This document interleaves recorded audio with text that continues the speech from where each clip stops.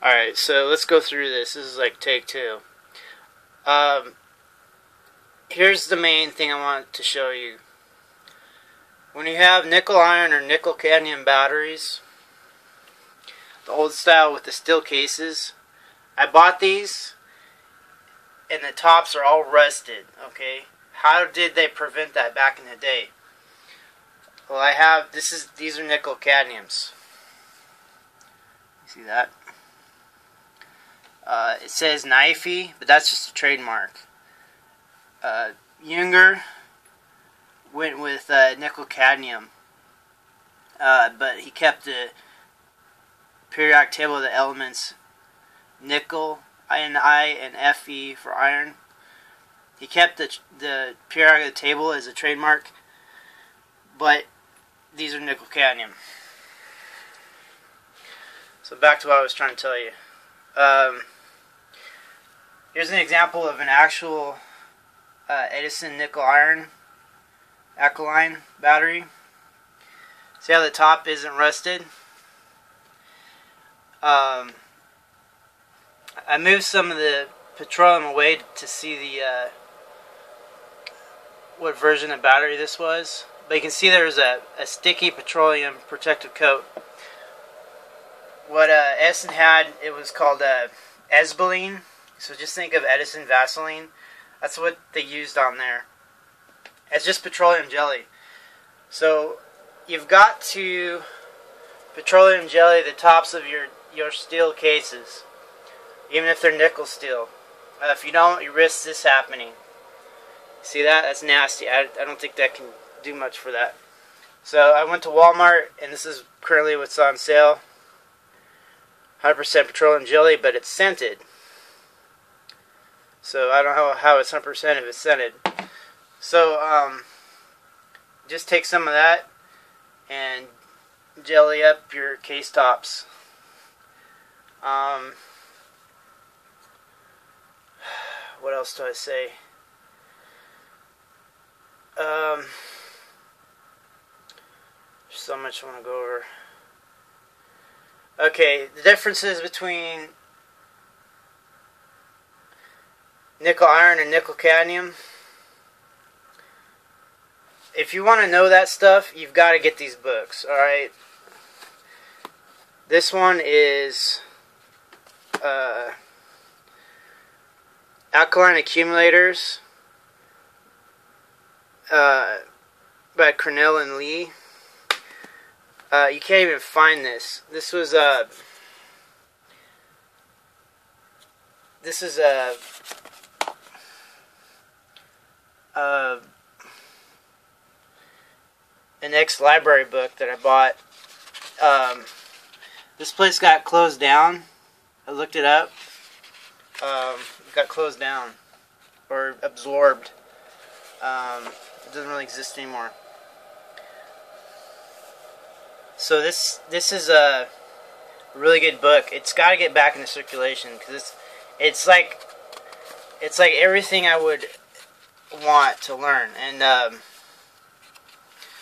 here we'll, we'll, go to the preface and the table of contents. So you, you see what, what's in this book. Um, it tells everything back uh, in the, the late 1920s. And then I'll show you another book that uh,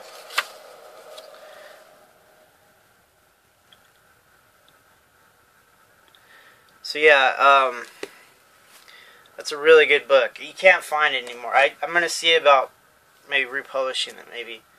Um, this book is literally like part two of that first book I showed you. Um, by these guys. Um, I think Falk is out of Sweden. Uh, he worked for uh, the Junger uh, Battery Company and uh, this guy is a Sal- Salkind. He uh, he did a YouTube interview. You can find it. It's pretty interesting. This book is awesome. It's like it's literally like everything up past past this little green book, this thing like goes uh, even more about it. Um, you can find this book. It's kind of expensive unless you find a used copy. Um, but what I want to say is the pictures in both these books are amazing. Um, and uh, what else did I want to say? This guy, he was uh, he used um, special means to look inside the nickel cadmium batteries to see what the reactions were, like X-rays or something. So he was a he was a uh, he finally answered a lot of the questions of what was going on. Um,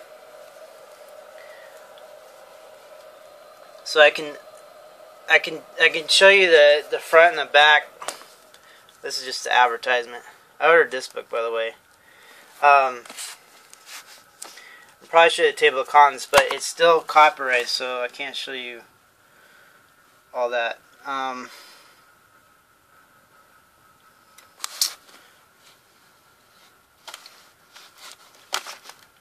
yeah. So Falk is he knows about the Junger batteries, nickel cadmium, real good, and then Salkind he worked for uh, um, U.S. Uh, U.S. Uh, industries. So between the two of them, pretty good book. Um,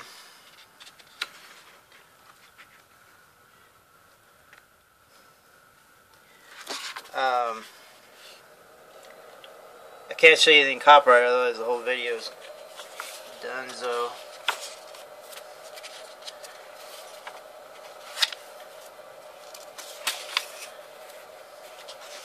We skip the forward, skip the preface, go to the contents. So this this will, between these two books, you'll learn all kinds of good stuff. Um, you'll be an expert. Um,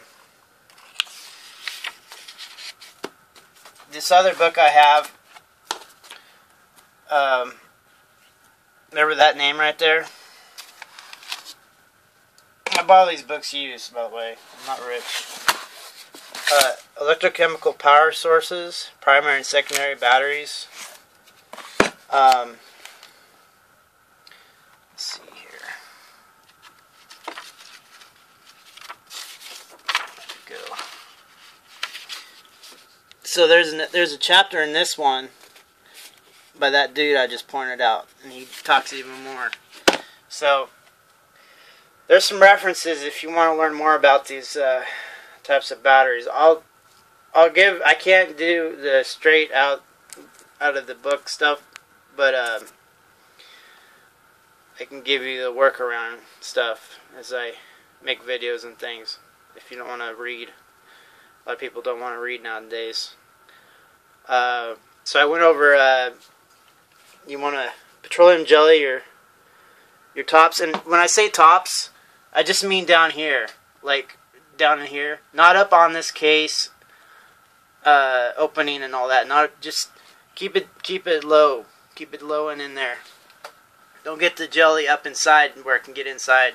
Just keep it down in there. Um, and just remember what happens if you don't. That could happen. So prevention is a pound of cure. Um, what was I gonna say? Oh yeah, so when you see a lot common mistake. People see NIFE and they think nickel iron. See that NIFE right there? I'll center that on there. It does not mean nickel iron literally. That's an old brand name that Junger used. Uh, and he kept it even though his company went with nickel cadmium. And he advocated nickel cadmium. So it's it's a convenient trademark that confuses a bejesus out of everybody. And then if you look at the Edison, he he uh, did use nickel iron, literally. It's all spelled out for you.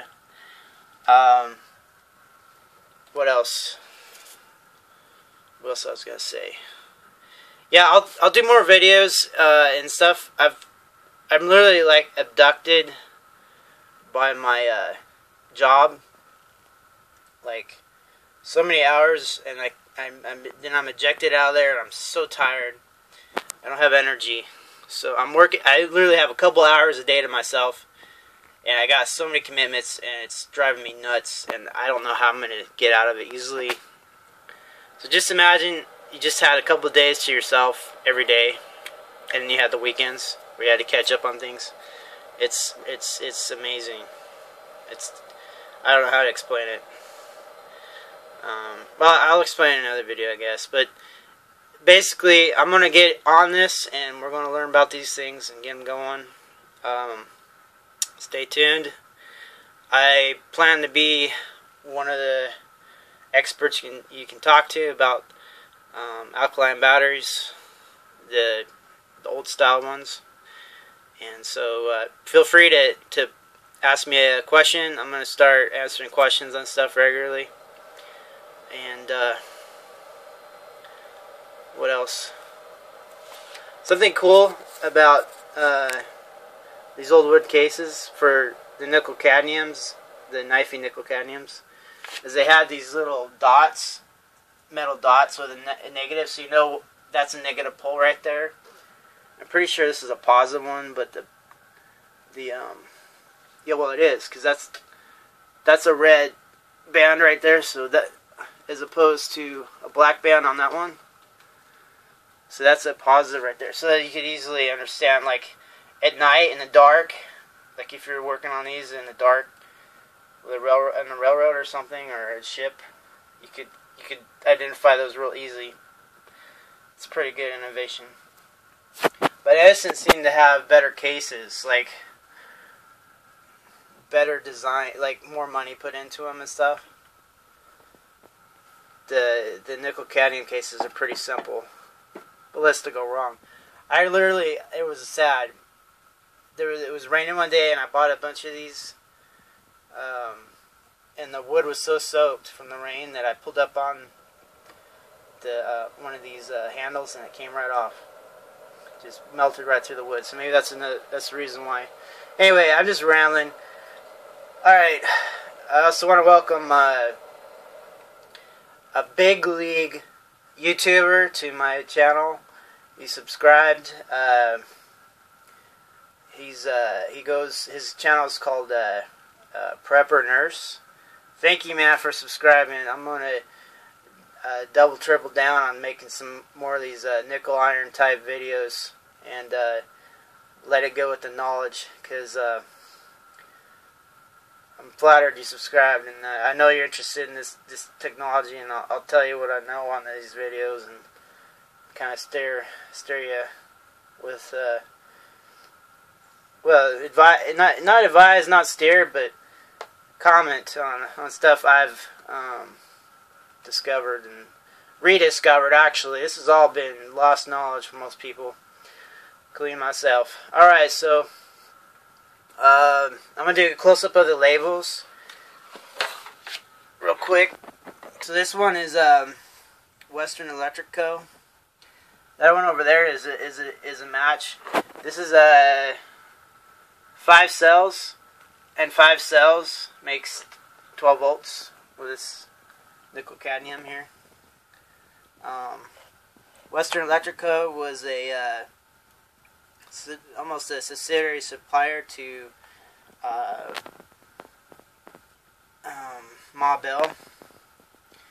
Um, it's pretty interesting to look up the history. Um,